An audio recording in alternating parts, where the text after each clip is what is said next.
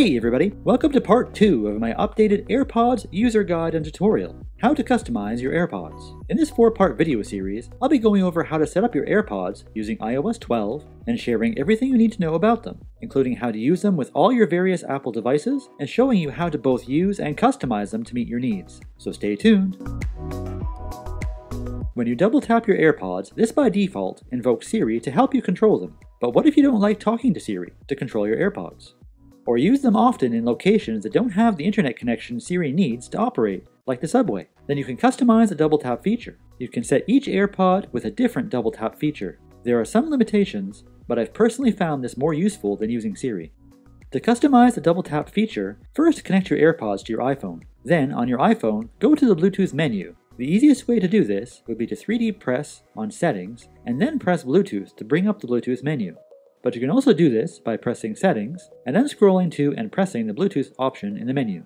Once in the Bluetooth menu, locate your AirPods and press the I to the right and access the AirPods settings. Once you're in the AirPods settings menu, locate the section in the middle with the title Double Tap on AirPod. Here you can set up both the left and right AirPod separately. Just tap on the desired AirPod to customize the settings for double tapping the selected AirPod. In this example, I'm going to customize the left AirPod by tapping left.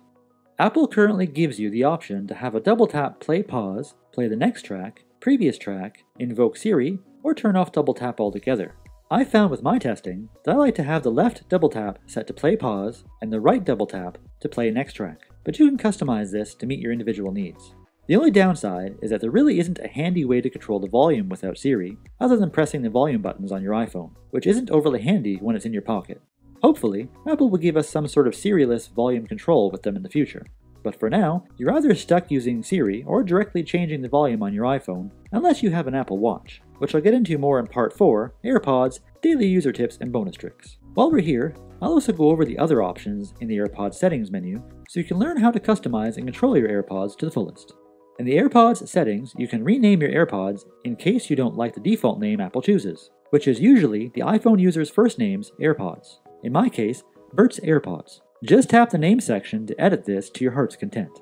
You can also control some of the more advanced features of your AirPods. First, you can choose whether or not to have automatic ear detection turned on or not. I recommend leaving it turned on, as it will automatically connect them to the last device they were used with when you put them in your ears, which is pretty handy. But you can also choose which microphone is used for telephone conversations. Default is set to automatically switch AirPods, which I would recommend leaving it set that way unless you have a specific reason to change it, as the automatic setting will go back and forth between the mics and use the one with the strongest source.